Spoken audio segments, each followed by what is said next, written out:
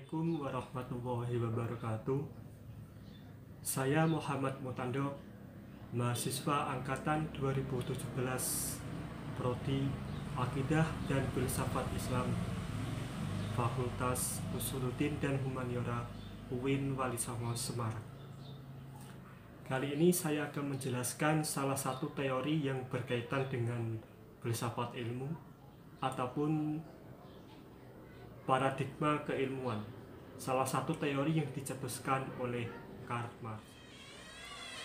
Latar belakang pemikiran teori materialisme yang dikemukakan oleh Karl Marx itu terjadi eh, itu terjadi pada saat kondisi intelektual pada abad ke-19.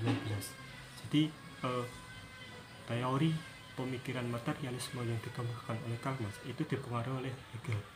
Tapi ada sisi perbedaan di antara Hegel dan Karl Marx. Jika Hegel itu lebih mengutamakan ide dibandingkan dengan benda, sedangkan Karl Marx itu justru malah sebaliknya. Karl Marx lebih mengu mengutamakan benda ataupun materi dibandingkan dengan ide. Karena menurut Karl Marx, ide itu tidak bisa tidak bisa menempatkan keberadaannya di dalam masyarakat karena ide itu sifatnya abstrak ide itu tidak bisa uh, dijangkau ataupun tidak bisa dilihat oleh masyarakat. Sedangkan benda benda ataupun materi itu bisa dijangkau ataupun bisa dilihat bisa dilihat oleh masyarakat sehingga masyarakat itu bisa menangkap bisa menangkap materi itu. Sedangkan ide itu tidak bisa dimarak tidak bisa ditangkap atau tidak bisa dijangkau. Itu menurut Karl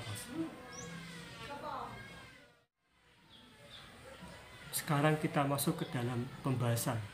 Menurut Karl Marx materialisme itu adalah suatu sistem pemikiran yang meyakini bahwa materi itu sebagai satu-satunya keberadaan yang mutlak. Jadi materi itu menolak keberadaan yang lainnya selain materi. Selain materi itu ditolak. Entah itu ide ataupun apa pun yang berbentuk abstrak kecuali materi itu ditolak oleh keberadaan materi. Jadi keberadaan materi itu mutlak. Kemudian kita kontekstualisasikan pada saat ini. Itu menurut saya benar-benar terjadi. Mengapa? Karena pada saat ini sesuatu apa pun sesuatu apa pun ketika eh, seseorang ingin melakukan sesuatu itu pasti berbentuk materi. Hal seperti halnya oh, uang manusia saat ini jika tidak ada uang tidak bisa apa-apa. Semua masyarakat sekeliling kita pasti lebih mengutamakan materi dibandingkan yang lain. Jadi menurut saya eh, kehidupan masyarakat karmas kehidupan karmas saat itu itu kurang lebih sama dengan kehidupan kita di zaman saat ini. Karena semuanya itu tergantung materi. Tidak ada materi tidak bisa apa-apa. Karena kita hidup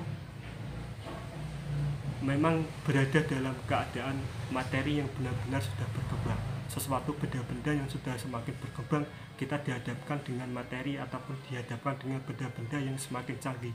Sehingga kita eh, apa ya sehingga sehingga kita eh, terpaku oleh benda-benda ataupun materi-materi itu. Sehingga ketika kita tanpa benda ataupun ketika kita tanpa materi kita tidak bisa melakukan apa-apa